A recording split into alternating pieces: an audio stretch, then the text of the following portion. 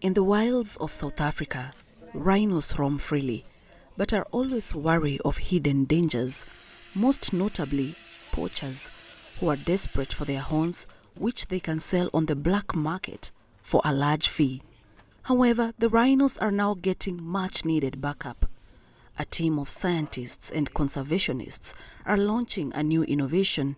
We've developed the use of radioisotopes to devalue rhino horn. So you're using radioactive material, small quantities of it inserted into the horn of a rhino, which is like then putting a massive bright light into the horn that no one can turn off. It stays there, and as it goes across borders, the detectors are in place that can pick it up. The project, led by the University of the Witwatersrand, marks the official launch of a plan to protect South Africa's rhino population, the largest in the world. On Thursday, five rhinos were injected with a radioactive compound. Last year, about 20 rhinos at a sanctuary were injected with isotopes as part of initial trials that paved the way for the launch.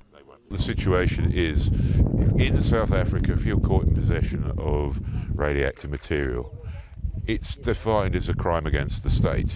So theoretically, it can open up the possibility of person being charged with you know, that sort of offence as well as wildlife trafficking offences. So you're just kind of ramping up the the, the re reward risk ratio in the favour of us. The isotopes are harmless to the animals, but powerful enough to trigger radiation detectors at borders and airports.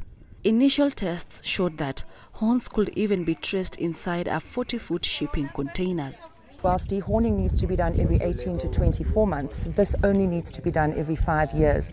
And also because the procedure is so quick and simple, firstly, the animal is under less stress and duress. Secondly, it actually costs much less in terms of veterinary costs and drugs. And then because you only need to treat every five years, it ultimately saves money for the rhino owners because they're so brave looking after these animals and continuing to be their custodians and reserves, etc. So we, we're trying to help and just up the ante a bit in the anti poaching game. The International Union for Conservation of Nature estimates that the global rhino population stood at around 500,000 at the beginning of the 20th century, but has now declined to approximately 27,000, largely due to continued demand for rhino horn on the black market. In Africa, rhino poaching has severely decimated populations. South Africa, which holds the largest rhino population, estimated at 16,000, continues to face high levels of poaching, with around 500 rhinos killed each year for their horns. But conservationists are hopeful that radioactive tagging, combined with community education and law enforcement, can help reverse the trend. Sharon Baranga, CGTN.